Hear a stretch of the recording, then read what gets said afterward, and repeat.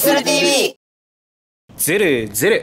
どうもすするです。毎日ラーメン健康生活ということで相変わらずやってるんですけれども都心にありながらもひっそりと隠れ家的なお店はこちらです。ドン。都営大江戸線若松川田駅から徒歩7分くらいのところにあります麺庵千歳さんにお邪魔してます。こちら千歳さんは駅から結構離れた住宅街の中にあるお店なんですけどもハイクオリティなラーメンそして担々麺で人気を誇っているお店ということで早速行っちゃいましょう。レッツゴーさあ、麺庵千歳さん、食券制です。今回は醤油煮卵ラーメンと気になった肉飯をチョイス。ついついやるけど手で仰いでも一切涼しくならないんだなと思いながら待ってるだ。こちらが千歳さんの醤油煮卵ラーメンです。どほい。しっかり濃い醤油色のスープにどでかいレアチャーが鎮座。こりゃ早く食べなきゃってことでいただきます。ではまずスープからあっさりとした鶏ガラスープで無課長ならではの優しい味わい。なんとなく肩の凝りもほぐれたような気になる旨味が広がる飲みやすさです。さてお次に自家製のストレート麺をリフトアップしてよっしゃすする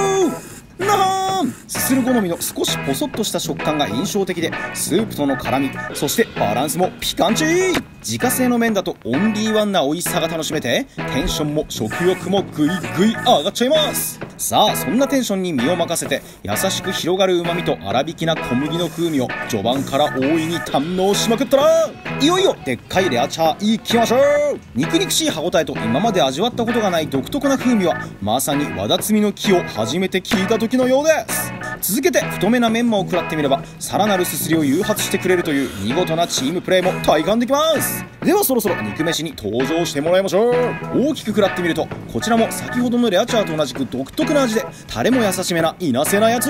がっつり食らいまくりつつ個人的にお気に入りな自家製麺もどんどんすすってしまえばここで肉飯にブラックペッパー味変。キリッと全体が締まった味わいになりもう少し早く投入してもよかったかなと思うくらいナイスな味変でした。てなわけでラストに味玉をポイポイ食らえば優しいスープもぐいぐい飲み干して本日も完食です。大変美味しくすすれました。口当たりさっぱりでさらっと簡易できちゃう一杯でしたそれではごそれ。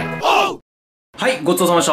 いやー、千歳さんに行ってきたんですけれども、自家製麺が美味しかったですね。ボソッとした食感でしっかりと小麦を感じられるタイプで、僕はああいった麺は好きなので、すごく美味しい麺でしたね。スープはあっさりとした醤油で、全体的にじんわりと優しめな味でしたね。とても飲みやすいスープで体にスーッと入っていく感じだったので、全部飲んでしまいましたね。チャーシューが個人的にあんまり合わなくて、たまたまちょっと外れただけかもしれなかったんですけど、独特な味でしたね。スープと麺はすごく美味しかったので、ちょっとまたね、確認しに行きたいと思いました。ごちそうさまでした。それでは、するの公式キャッチレーズ、麺ん千歳さん。